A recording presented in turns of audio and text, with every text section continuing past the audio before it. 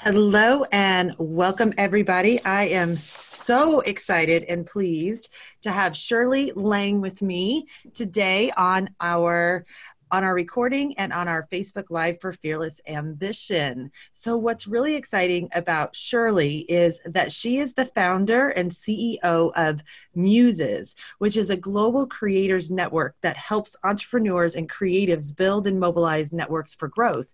But Shirley is so much more than that. And I was just telling her as we were waiting to get everything hooked up that I have never seen a young woman with the set of credentials and work history that Shirley has had. So she has well first of all i mean muses is already in 121 countries. I mean can you believe that? That is mind boggling to me. And already with it over 300 million total social media network reach. I mean those kind of numbers are just uh, astounding. It's hard to imagine them. She actually started her career at MySpace. So, you know, that's, she doesn't look old enough to have started her career at MySpace, but like, think about, think about what you would learn just working there as a young lady. Led teams at NBC and at Amazon. With, and she's also catapulted growth for a lot of actually thousands of YouTube stars. You know, my son, he uh, is a big fan of like so many YouTube influencers like FaZe House or, you know, these different things. And you, I often imagine like, how do those people get so much growth? So the fact that you actually know how to do that is uh, uh is reason enough for people to want to know more about you. So Shirley is a startup mentor at Techstars and is an advisor for women tech founders and DoSomething.org. So today I'm going to be uh, just asking her some questions about this amazing career. But hey, hey, take it take it from there. Tell us a little bit to start about Muses. Well, First off, thank you so much, Mary, for having me. It's such an honor um, to be on your show. I mean, I was looking at your accolades, and it's definitely something to aspire to. So, congratulations on everything you've built so far. You are a role model to women and men around the world. So, thanks for having me. Oh, my my absolute pleasure. And uh, today's my birthday, so you are you are. Oh, happy birthday! Special, I feel like you're an extra special birthday gift for me today. I get to oh, learn. You know, I was just at a conference um, I was just at a conference in Toronto. I actually just got back late uh, Sunday night, and um, I was speaking at this conference. But you know, the the conference was for holistic medical doctors, so homeopath doctors, and there it was very well attended. Lots of energy in the room, and you know, just to be in the presence of all of those healers. But you know, the number one thing that they were there to learn was all of the things that you probably know how to do instinctively you know all of those things about building followers building a network gaining credibility. These are all the i mean i wish that uh, i hope that um, i get a chance to send all of them the video of us today because this is exactly the kind of content that even though like they might be a chiropractor they still need to know how to do this. This is no longer just what the top celebrities do. Don't you think this is the the way that we're building our businesses and uh, you know reaching people whether it's in a local community or a global community? You're absolutely right and that's the reason why i started muses. Essentially any small business owner or self-employed worker if you want to grow uh, and you don't have the time, the resources for social media or spending on Facebook ads, how do you get more eyeballs on your business, right? So let's say we start a Facebook page and we always invite our, I don't know, 30 to 50 friends to like our Facebook page. But now what? You know, you don't have thousands of dollars to spend on Facebook ads. So we need to find other people to help pull resources and grow together. And one of the ways to do that is through influencers. You know, that word has been around for several years now. It's still wild, wild west for many, um, but I think the dust is starting to settle. We're seeing more, um, you know, templates, template campaigns and different ways of uh, becoming that success story. So I saw this need in the market where it's not just for celebrities, like you said, and big brands. It's for the everyday people that want to build a brand online that has a side hustle, if you will, that one day they want to turn into their main hustle. You've got to have that social media and digital footprint. Whenever someone hears about your business, what's the first thing they do? They Google you right? For me, I look up to see if you have an Instagram page. I look at your content. I look at your engagement. I want to see if you're really what you say you are, right? And I'm not alone. They say, you know, I, I think it was something like 75% of millennials would search on social media before they make a purchase decision. It's, it's something crazy like that. Um, and especially for women and moms, you know, we actually, I'm not a mom yet, but women actually make the purchasing decisions at home, and we love social. So that just makes it so much more important for us small business owners, entrepreneurs, anyone who's trying to build a brand to have that solid foundation on these different platforms. It's it's so true. And I can tell you that from that end user perspective, like the person like me that's just trying to figure it out, it can feel sometimes like your content and your message get buried underneath the the um brain power it takes to understand the text. So that's why I'm so in admiration for you because like you understand everything that you just said. You know, you understand that it's the woman making the purchases. And you also understand emo- like people say this all the time but that we buy based on how we feel. And obviously social is the way that in today's world we're creating those feelings. I mean it used to be t- commercials on television and now it's on social. So it's definitely a changing paradigm. So, for someone that has your background and your credibility, that's why I was saying that I cannot wait to see where you are at in 10 years. I have a feeling just the tip of the iceberg for you. Thank you. So, having this rich history, and thank you so much for telling us about Muses. How did you get started in the beginning with like, you know, going to to MySpace? What was your early start like? Okay, so I my start was a lot of uh, zigzags and turns because, like, like many people, we think we want to be something, but turns out not really the case. I mean, there are some select uh, fortunate people who just know what, they want to do and they become that. For me, I started off um, as an engineer uh, at USC, so I have my undergrad in engineering.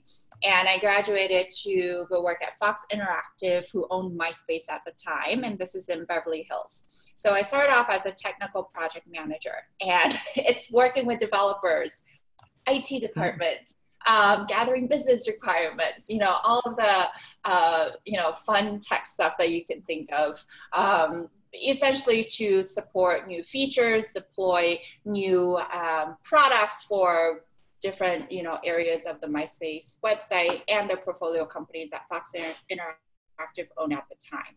So you know, I really I always enjoy tech. I always saw that tech is the foundation for everything as well as going into the future. So that's why I wanted to make sure that I coat myself with a good foundation in technology.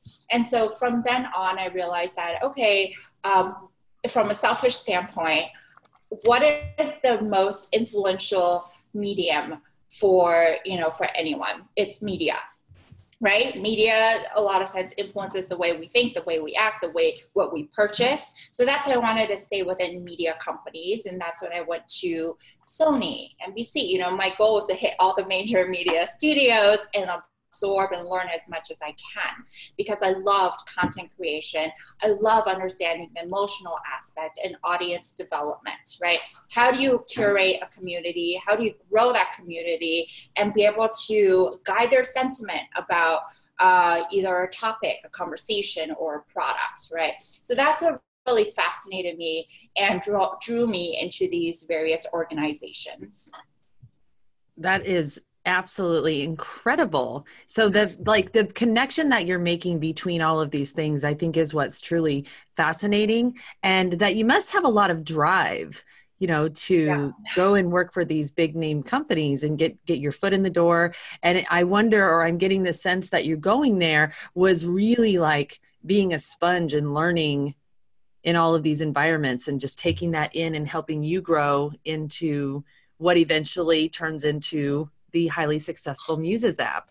Oh, so, thank you. oh, my pleasure. So what are the what are some of the biggest tips you've learned from those huge companies that you use to take you into like your next step of your entrepreneurship journey?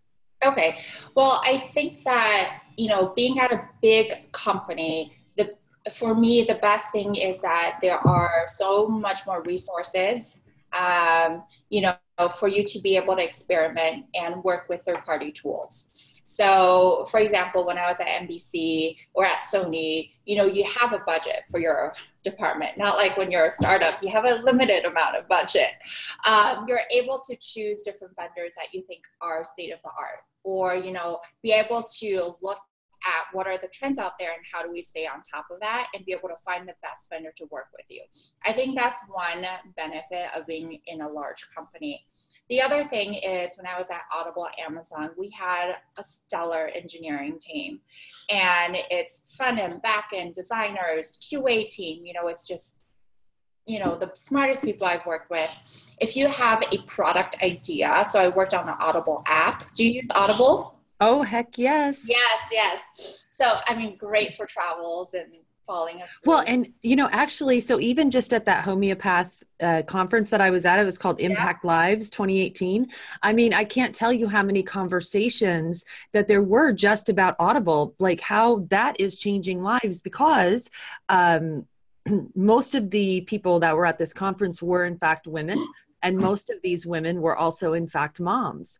And so they felt like the audible app is there's some is something that they're so grateful for because it allows them to be a mom, run their businesses, but still take in that content that they, you know, like we're like sponges. We just want to learn everything right now. So it allows them to take that content in while they're taking a bath. Um, I'm so guilty yeah. of listening to Audible in the shower while you're walking or running or, you know, on the plane, on the train, in the car. It just, one of those things, if you have 10 minutes, you can pop it on and enjoy that 10 minutes of learning and then you can just pick it up you know, later on in the day. So yeah, thank that- you for all the development you did on that app. Oh, tiny, wow. tiny development that I did. it's but all you, it's all the team. but like this is what's blowing my mind is like how many of us think about the engineering teams, like the details behind the details. I mean, we see the end product, we see how it works but the amount of massive undertaking it must have been to collaborate with publishers to collaborate with you know all the uh, legalities of publishing just in general i mean like for example i know that uh, I would love to record my book on Audible, but I also know that Hay House, my publisher, owns my content. So, you know, it's just, isn't it interesting, even just from a legal standpoint?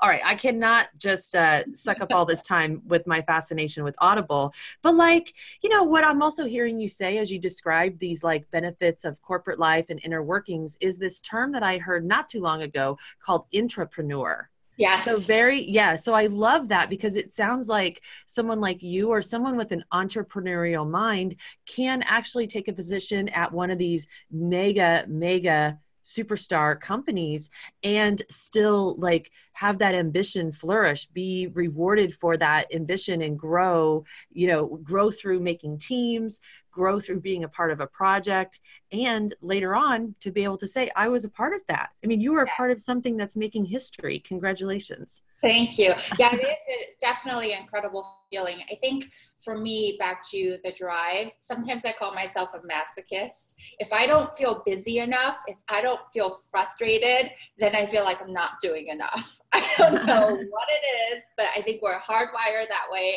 as entrepreneurs or intrapreneurs to always push the boundaries for ourselves and people around us. Yeah, that's I mean, I think that it's what's behind how I came up with fearless ambition in the first place because you never know what's behind that next door. And and you might um you might feel the fear because you don't know what's coming, but yet there's something that pushes you through anyway. It's it's about having the courage to it's about having the courage to always put one foot in front of the other and take that next step rather yeah. than trying to be fearless or pretend that we don't have any of those fears. So, all right, well, thank you so much.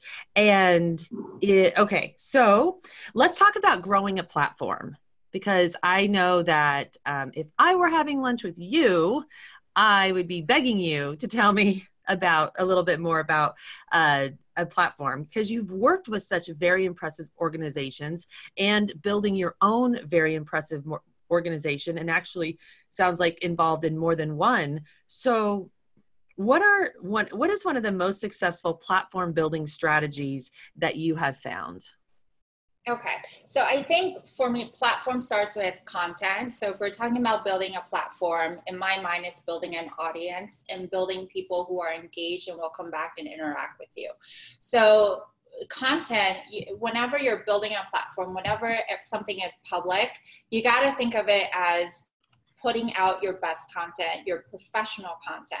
Even if you're an individual and you're a blogger and you're starting your Instagram page, you got to think what how do I make it look professional and brand friendly, right? Is this something that other people want to follow? Um, so one trick that I always ask, so I mentor at 1871, a startup hub here in Chicago. And whenever startups come to me and say, hey, how can I improve my Instagram? My first question is actually back to them what do you want people to feel? Give me three adjectives to describe your brand, right? Once you can give those three adjectives, you can have unlimited amount of content ideas. So a lot of times, let's say a health food brand, right? They they're only posting their food, right? I'm like, well, you're gonna run out of content sometime because you only have, I don't know, five different menu items. What are you gonna post? Those same five things in different lighting, you know? So think about the emotional aspect. You want people to feel wholesome, um, inspired, and maybe, you know, delighted. You know, those are three adjectives I just came up with for wholesome food, right? So with that, you can think of uh, inspirational images that make you feel that way. So look on Instagram, look online, whatever makes you feel delighted, inspired, and wholesome those are the images that you want to add to your feed, not just you know photos of the product over and over again. So that's one thing that I've seen helps people. Um, the other thing is distribution. So you can't just market yourself all the time, right? Distribution, think about um, there's paid, earned, and owned content. Your content is the only owned, right? paid content would be ads or using influencer marketing. Um, earned content is definitely the top, right? Earned is when someone sees your content either through your own channel or paid channels and actually create their own, right? So another term for this is UGC user generated content. When someone sees a brand do something or use a hashtag to say, hey, show me your, you know, fall style and using that hashtag. And you actually create something to generate more content um, using the same pillar or the same brand initiative. That's when you earn the content. And that's your goal as a brand marketer or a brand owner to be able to collect these earned content and inspire people to create earned content. That is so brilliant. And I think that you have an ability to explain it because you know what? Instagram can be confusing to people. You know, I, I know that at this conference that I just went at and other ones that I've been at, there'll be this confusion of trying to create images that are popular or trending. Like like so for example let's say you're not a health food restaurant or you're not like a healthy eating uh, program but you're just uh, you're just an author then there might be this trend of like posting yourself at different dinners or you know making taking a picture of your food and posting it but or also creating this um, fake sort of lifestyle that isn't really real. But yeah. if like so for someone like me if i think about what are what is my audience going through? Maybe they're going through some struggles. Um, tra- maybe they need to have you know some kind of transformation or they're they're in the middle of that journey. So i just choose three adjectives that i think embody what my audience is about and then create that scenery through whatever lifestyle images that I can share or things that represent. So, like, I'm all about connection. So, I could be posting a lot about things that create a connection you yeah. know and then sometimes that's not even directly maybe about something that I teach as an influencer, but it could be like, what is the connection between, say, the uh, uh, molecular structure of an atom? How is that connected to like the massive, um, you know, cosmos? if you've ever yeah. seen one of those things i know i'm reaching here yeah. but uh, it makes sense to me because what you're saying is just like so profoundly profoundly giving me ideas as to what other content that i could post on social media awesome. so let's talk about because you just gave some really incredible information and like i said i can't wait to get this out to a lot of my friends but what is what is a big mistake that you see over and over again okay um, i think there, there are two. Can I share two? yes, and especially if I'm doing one of them because I love to learn. No. Well, number one is a lot of people are perfectionists, right? Especially yes. if you're type A, you want everything to be perfect. But because your perfectionism can be a hindrance to you when you're scared to put out content. When everything needs to be perfect, a lot of times it's not authentic. And when people see you, it's just too made up, or you don't pump out content you know frequently enough and you just go and it's just this perfect thing it's hard to relate to. So that's number one. Number two is when it comes to influencer marketing or working with influencers brands love to say hey let's do a test. Right? When they say test that means a small budget and which is fine but you have to be careful because knowing that you're spending little it's not going to move the needle so much. So what I see the mistake is they'll do a test and then expect huge results, but don't, and then decide that it's not working, and they don't try ah. it. So, for example, if you have a small budget of let's say a couple hundred to a thousand dollars, right? Mm-hmm. You're not going to be able to find, you know, large enough influencers or with large enough engagement to really move the needle right? So then you just see a couple likes here and there. To you, it's I don't know what happened. Right. So that's a that's a really good point because you know here's something that can separate the small influencers or the people that are you know using it because they're not going to have the enormous budget that um, a large a large brand say like tony robbins or somebody that yeah. that's going to have or gary vee so yeah. there are those people that are in that starting out phase and that um, they need to understand maybe to come up with a different strategy do you think if they only have a small budget it's like what are other is there another way you think they could test their audience absolutely to... so from uh, a brand's perspective right so it's two-sided marketplace the brand perspective if you don't have that big of a budget um, definitely provide product in exchange mm. let's say if let's say you only have a thousand dollars to spend spend that you know a thousand dollars on the biggest influencer you can get or even paid distribution. And then you're better off just doing a sampling program with 200 small, micro, or nano influencers. So then these influencers who are just starting off, just getting their feet wet, they're happy to do a brand campaign by receiving a product in exchange for social promotion. This way, you're not spending $1,000 on one person getting one piece of content. You're getting, giving product to 200 people and you're getting 200 pieces of content right? There you can regram them or you can, you know, reuse the content, make sure you have the usage rights to distribute. Um, but you, you get better bang for your buck if you can use smaller influencers when you have a smaller budget. It makes sense, but just making sure that whatever you're trading for is worth their effort as well, right? If so, do you just as an example do you mean like someone like me would send out something for like i would find 200 small influencers that are similar to me have similar audiences to me and offer to send them all like either one of my courses or my book or something that they would then throw a shout out on their social. It says hey uh, check out mary Shores' book or something like is that what you mean? Absolutely and oh wow girl. That's i mean all the time. talk yeah. about thinking outside of strategy. This is this is the way people become like gary vee is because they think of alternative strategies that aren't necessarily the mainstream. Yeah Absolutely. And, you know, we call these in kind exchanges or barters, right? If you don't have a product, provide, maybe you provide a service or an experience, right? It's all about sampling, giving people value so they can talk about you. Mm-hmm. And, and something more than just like a free opt in, something that's, yeah. something that's really um, impactful Yeah, something to make the influencer feel special because nowadays influencers are getting pitched left and right. You know, they have they have, I mean, you have a lot of options. So, how do you decide who to work with? It needs to be worth your time. Well, and I can tell you that um, when you make the mistake of working with too many, you lose people. So, I had gotten, um, personally, I had gotten bombarded with so many offers to do online summits, you know, like exclusive interviews. So, I had already been on uh, over 200 podcasts. And then I started doing just one online summit after another after another. And that's wonderful I love doing the interviews. It's so much fun.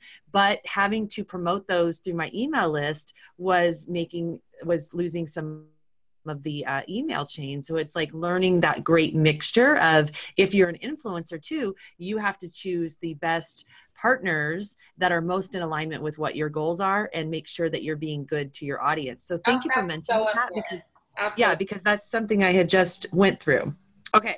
So you've already told us a little bit about the Muses app, but you founded it, and so take us away. Tell us again, just uh, what is who would this app be great for, and where do you see it going? Okay, so Muses is for self-employed workers, entrepreneurs, creators, really the freelance economy. Anyone who doesn't fit necessarily under the LinkedIn corporate umbrella should come to Muses. Uh, you know, we started off as an influencer platform, but then I saw you know these influencers are also doing other things. I mean how many bloggers do you know who are also photographers? They're mm-hmm. also pr specialists. They're also hairstylists. They're makeup artists. You know like we have so many talented people in the world and they don't find jobs off of linkedin right? They a lot of times find jobs off of instagram but it's not designed for you know well and they they find they find jobs through their network. Yes. You know through their connection through through their followers who are who are enjoying their content. You know i think i was actually giving a book talk. I was giving a speech and someone came up i believe and showed me your app. Ooh. um yeah and i she was like look you can connect with all of these people who and she she actually uh, referred to it as like almost like a dating app. She loved it so much. Awesome. yeah like well, she was so excited about it. Yeah, she was ex- like telling me you should get a profile and um, yeah, but like yeah, it was like she was so excited about the possibility of who she could connect with and she was excited. I mean, that's the thing is like getting excited about something new. Mm-hmm. is Absolutely. is uh, priceless right thank you thank you all right and what do you think what do you think that you're doing right that is making this app so successful already well, we have a lot to grow, but so far we have 40,000 members in 121 countries. 85% is in the US. I mean, that just comes with the territory because we're here. Um, how we started off is my first 500 members were all my blogger friends. And we started off as influencer marketing and you know, it's a natural network effect. When you have influencers, or followers join, they attract the brands that they work with and became a two-sided marketplace. But we're pivoting from marketplace to, like you said, a LinkedIn network type place. So now we're attracting more small business owners, um, self-employed workers, freelancers, right? I think really it's the organic effect where people see something that they like, they invite their friends to connect. Or, you know, there's actually a need when you know a small business owner can't afford to pay a high-end photographer they want to do barters you know? Yes. they'll say hey can i give you a fall you know wardrobe for in exchange for a couple hours of your work right and so on muses you can pay someone for work or you can exchange like we talk about complimentary services product or experiences for work and at the same time you can also you know find people you want to connect and grow with it's it's so brilliant. You know on podcasts i think a lot lately people ask me questions about business because i've been a ceo for the past 20 years. So i mean even though i'm an author and like a little baby influencer at this point you know i love how reed tracy always says it takes 10 years to become an, uh, an overnight sensation. And a lot of times i feel like i'm on about year three or four of that journey.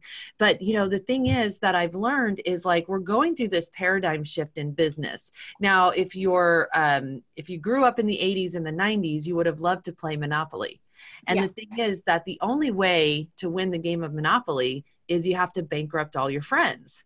Right? But like this new paradigm of business is not looking at everyone as competition, but yeah. looking at looking at your network and look at people either as connectors, collaborators, or or potential clients. Yes. when you can get everyone in those different categories and then have a strategy for how you're going to interact with each with each kind of category, you can find yourself just really making a lot of progress just by utilizing the power of your own network you know that, that who you're in proximity to is like currency today don't you think? It is. It's all about who you know. And i love what you said.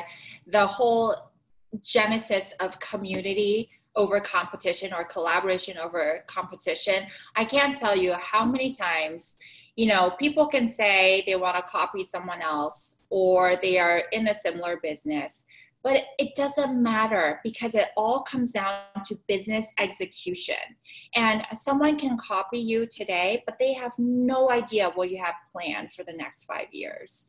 So I think instead of being and they don't and they don't have your story. Exactly. You know, no one has background. No one has your story. No one has your set of life circumstances. No one perceives the world quite the way you do. You know, I am all about helping other aspiring authors, people who w- would like to write books, or someone like yourself who just has all of this incredible knowledge that could help a lot of people. You know, when I first got started at 24 years old, um, starting my first company, I had a lot to learn and you know it's like they look up to those people who've already accomplished some of these things to give back. It's such a great writing a book is such a great way to give back. But so many potential authors will say oh you know Gary Vee already wrote that book, or, you know, Brene Brown already wrote that book. When the truth is, no one can write your same book. No one has your same content. Some of the concepts may be the same, and that's a brilliant thing because Louise Hay herself, founder of Hay House Publishing, would talk about how it's so important that we're all sharing the same information because one person is going to radiate with me Yep. and another person is going to eh, resonate with with someone else and yep. so our stories our lot our life circumstances including the more traumatic things that we've been through in our lives the lessons that we've learned the hard way those are the things that that create your audience almost like a magnet uh, one of my one of my friends in the podcasting industry i love how she said it's like it's like a platform is like a big empty football stadium and you're just filling those seats one person at a time with people who are becoming your fans. And why do they become you know i know we don't like the word fan but why do they become a follower? It's because they resonate with the power of your story. There's yeah. something that you have learned yourself that you can share with them. So take us away. Give us um, what is the number one tip for anyone who's learning to build an online business? Number one tip. I want to say um, so this changes, right? But right now, for this present day, it's very important to be kind. Oh, yes, and authentic. Yes, I think your message comes through and who you are comes through. You can't say, oh, I'm a, you know, I'm this type of person online, but I'm a different person offline.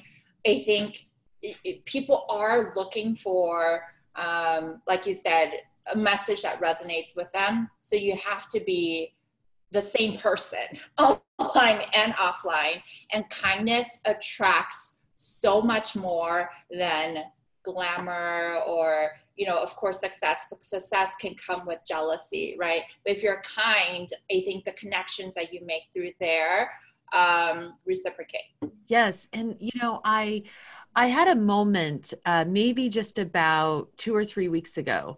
I had this moment. Uh, my assistant, Soraya, she's actually the queen of all content creation around here and has the ultimate authority.